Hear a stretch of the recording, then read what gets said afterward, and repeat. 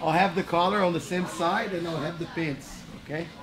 So we're gonna grab the same side collar because I can break more his posture, okay? If Andy tried to stand up, just stand up without breaking my grip. You see, like it's hard for him to posture up. When I grab cross collar, it's good, but you see he turned more, turn around. Especially he has uh, more freedom to hold his leg here and step over my leg, okay? Sometimes I step over my leg, just like this. Okay, go back.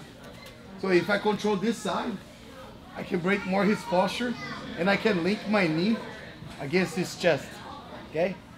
So I keep my knee close to his chest so I know I'm breaking his posture really well. Every time his knee goes off my, my uh, knee, okay, every time his uh, chest, sorry, goes out of my knee, it's hard for me like to control it and then can step over.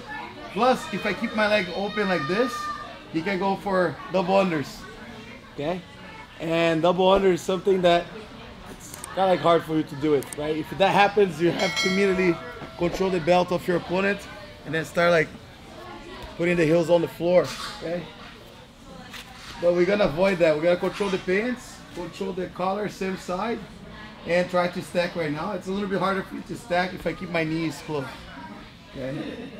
So now I have to work with the De La Riva guard from the side that I'm controlling uh, his pants. Okay, so I control, got the La Riva hook. Okay, so now there's a lot of things I can do from this situation. And the reason I grab the same side, okay, is because after I pass, I want to to go straight forward to a nice uh, guard pass.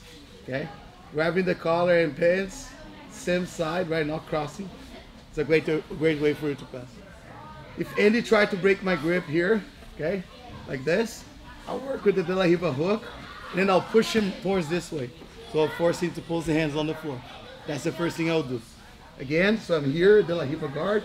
I'm gonna try to break. I force him to pull his hand on the floor. Okay, so after I'm doing this, I'm gonna start bringing this leg inside. So I'll turn, and I'll bring, turn on me. Look the movements of my arm. So I'm gonna bring his leg, my elbow under his leg, and his leg over my forearm like this. And at the same time I'm doing this, taking his foot off the mat, okay? I will pummeling this leg here. I was the hip hook. I'll go like this, okay? And then I'll have the modify X right here, okay? So I'll have my foot against his hip, okay? Right here. So now it's like a shelf, uh, a shell right here, a shelf, right? With the elbow and the shin.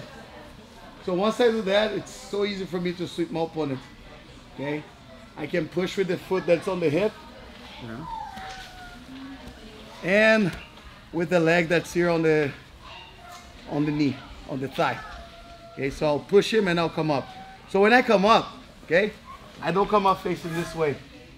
Because sometimes if I come up facing this way, okay, just like this, sometimes when I do that, my opponent will be half with his foot again and force me to go back on the floor, okay? So when I kick him, I'll face towards the side of the the leg that I'm holding on the pants. For example, look, I'll push him, okay, here, and I'll turn this way. See? So if I push him and turn towards him, it's too much weight, okay? So I'll push and face the other way because it's uh, it's light right here, okay? So there's not much weight on this side. So I'll push, and I'll turn like this, okay? Mhm. So the same leg that I'm pushing on the hip is the same leg that I'll bring underneath of me. Look, to come up. See that? So I push him as far as I can, and then I'll come up like this. Okay? So as I come up, for sure my opponent will try to defend the, the sweep. He's not gonna get swept right away. I'll be on this position here. Okay? So now with the hand on the collar, I'll force him to post the hand on the floor. Like this. Okay? So I'm here, I go like this. Okay? And now I'm gonna go with the hook inside his leg to sweep him. So I'm going straight forward to the knee cut. And now we are in the position where we drew last week, right? Collar and pants. I can push the shin out. I can pass towards my left. if he's blocking, I can make a transition towards the, the right. You can try to recover the guard and try to make a lasso like this. I put my knee inside and I go back to this position here, doing the windshield wiper. Here. And then goes back again to the same position. Pin. He's gonna try to recover. Windshield wiper. See? So you have like three passes with this grip. This grip here is so important, pants and collar, especially if you're passing to this side, because now you're gonna keep your opponent close to you, okay? So it's way harder for him to defend my passes if I'm controlling his collar, okay? He's gonna try to break my grip. I put my head down and I open my elbow like this if you try to break the grip. Turn my thumb down like this. When you try to break, I go like this, right? Put my head down. So now I can start passing. I can go overhead, look. Then seat belt, okay? So as you sweep, you're gonna connect to the guard pass, kind of like a knee cut, okay? You're gonna find yourself in this situation. Collar and pants. Drop his hand on the floor and then move towards it, like this. He's gonna have the knee shield for sure, okay? Avoid the knee shield. I can do this, okay? I can put my knee over too, like this, okay, to go to the other side. I can take the knee out and knee cut. And I know, because I'm not holding the bottom leg, he's gonna escape the hips. So I use my shoulder on him, hop over the other side. He's gonna try to recover. This is very common. I'm not gonna let go my grips. Okay? I'm gonna open my elbow, bring my elbow towards me, open my elbow, and then use my shin right on his, his hamstring. And now look, I stay between his legs. See this? Now I can go for a windshield wiper. And then I establish my pass here, or he's gonna try to do the same thing again. That's too cool.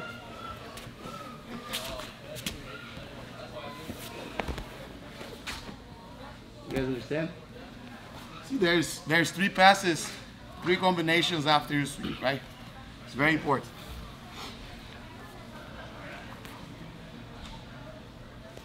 First pass, knee cut. Second pass, head down, leg break, hop over. Third one, you got a knee and you got a shallow lasso. Okay? Go between his legs and use your shin here. Why is my shin here? Because if I move like this, it's gonna omoplata me. Okay? So as I turn, look, I use my shin here. I can even stack him like this. So I know he's gonna try to bring the leg back. I bring this leg over my lap. And I extend my arm. Don't let the, the knee on your, on your belly like this. And then, you windshield wiper, look. See? Now you pass it up. You guys got it? Again. So you can start to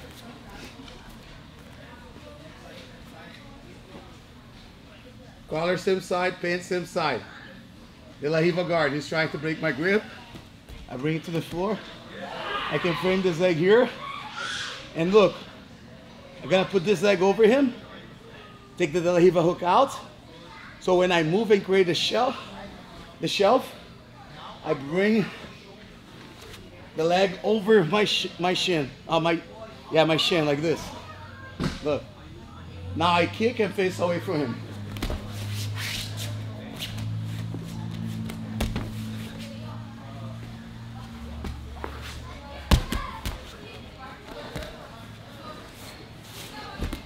and then stop right here. Okay? We go over and over like this, over and over. Okay, I believe the most uh, difficult difficulty uh, part of the position is this transition here. Look, turn on it. So keep his foot close to your hip, you see, not on the floor. So bring his foot over the hip like here. And then you go with the shelf. And then you move this leg here. And now I'm here.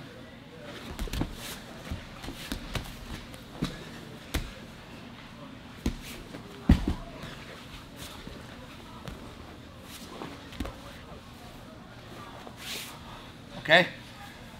So it's gonna be three minutes one person, three minutes other person, two minutes one person, two minutes other person, one minute one person, uh, other minute other person.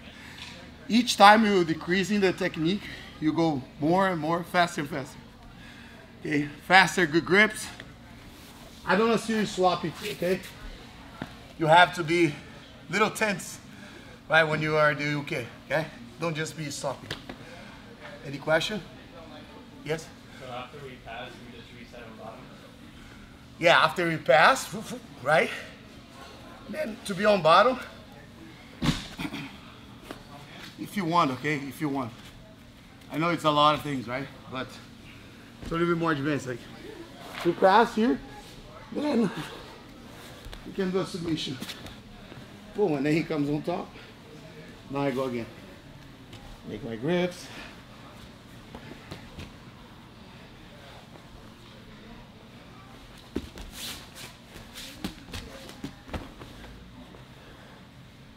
And keep doing this over and over, okay? Just set up a submission if you want, just to go down. Okay. Uh, last thing, okay? Because we're gonna just do this the whole class.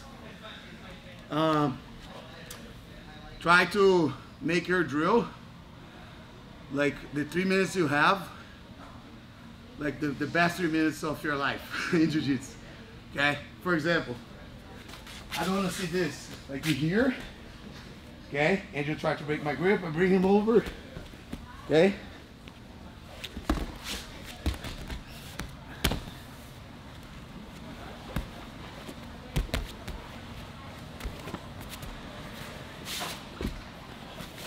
I to see this.